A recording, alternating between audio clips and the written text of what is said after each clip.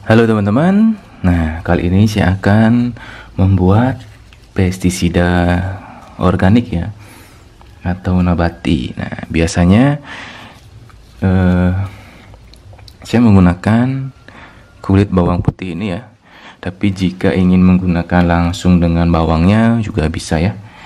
Nah biasanya kan kulit bawangnya itu dibuang ya. Jadi kita ambil kulit bawangnya dan kita seduh biasanya. Menggunakan air hangat. Nah, misalnya bawang terlalu mahal jadi ambil kulit-kulitnya saja ya. Tapi jika ini tidak membuat pengaruh jadi ambil saja 2 sampai 3 butir ya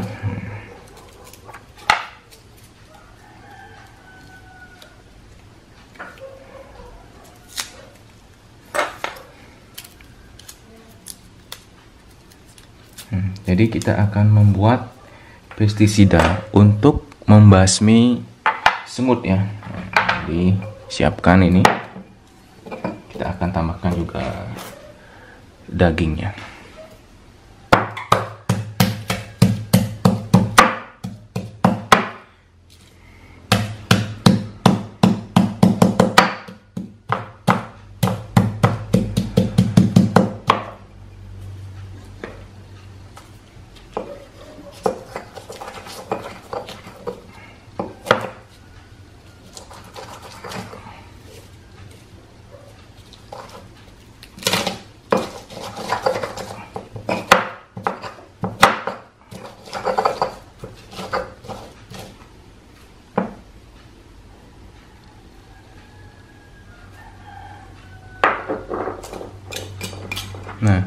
Biar hancur saja sudah cukup. Masukkan juga lagi ke dalam gelas.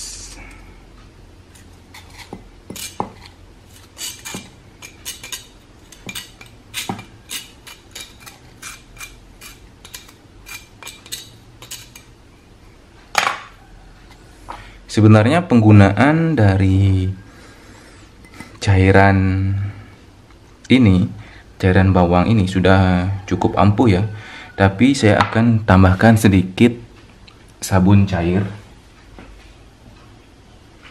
Ini. Tujuan dari pemberian ini adalah untuk merekatkan lebih lama di daun. Misalnya pada tumbuhan bonsai saya saya letakkan ini tambahkan ini ya. Tujuannya agar karena ini banyak airnya agar uh, dia menempel lebih lama di bagian daun sehingga semut itu tidak akan kembali dengan cepat seperti itu. Jadi ini diseduh.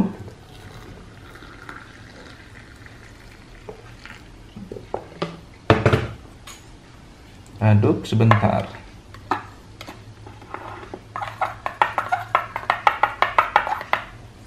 Tunggu sampai 15 menit sampai dia tidak panas lagi ya.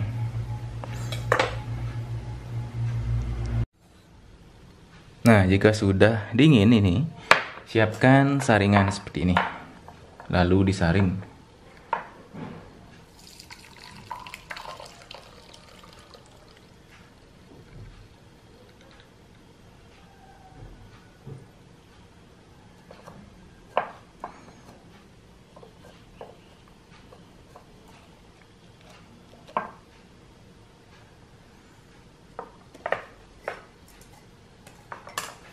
Nah inilah dia sudah jadi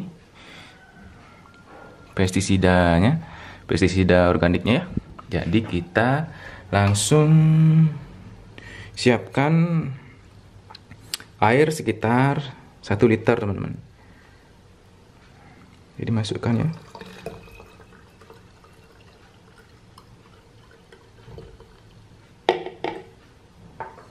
Langsung kita aplikasikan sekarang. Apakah memang benar terbukti? Apa ada ya? Nah, ini dia. Semutnya banyak sekali ya. Di musim penghujan seperti ini semut-semut naik teman-teman. Nah, lihat. Langsung kita aplikasikan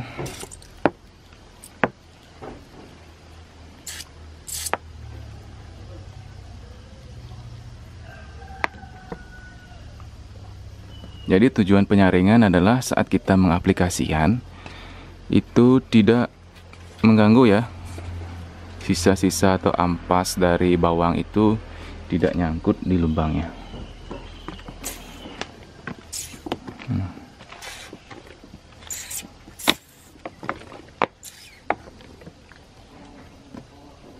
Nah, bisa dilihat langsung.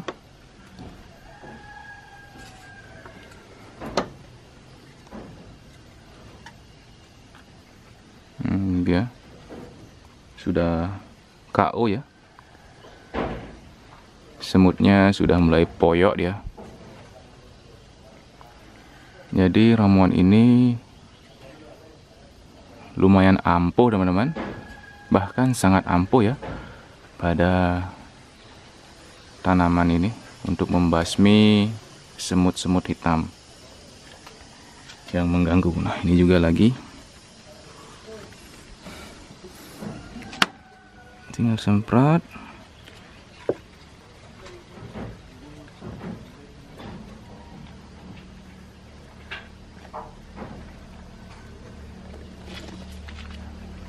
Semprot lagi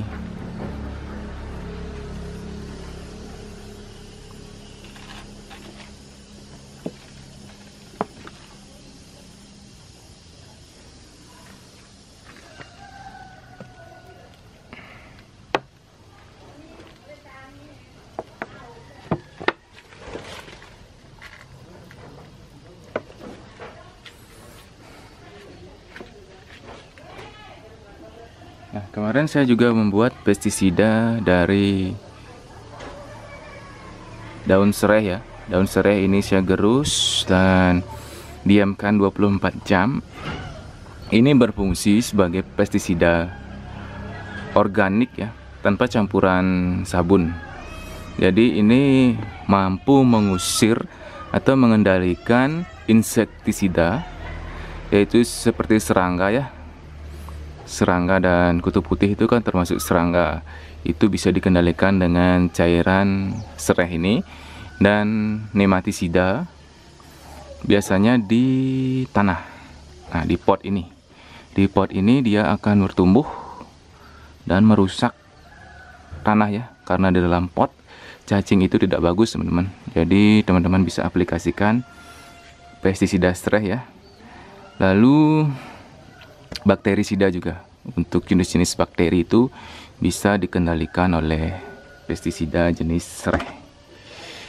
Untuk ulat, untuk pestisida jenis serai ini saya sudah coba, belum bisa ya, belum bisa untuk mematikan ulat. Mungkin kita akan coba nanti pembuatan dari daun jarak yang cukup bagus ya, yang cukup membuat KO. Nah. Oke, saya akan lanjutkan lagi teman-teman. Semut-semut hitamnya ini banyak ya. Karena pengaruh hujan yang tinggi jadi dia membuat rumah di pohon-pohon kelapa saya ini. Intip lagi di sini. Nah. Jadi setelah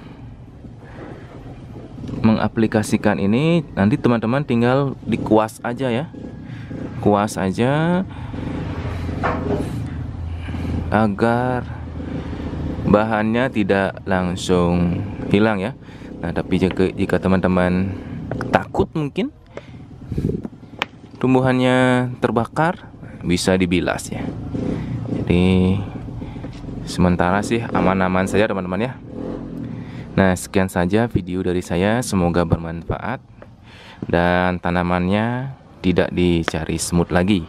Sekian dan terima kasih.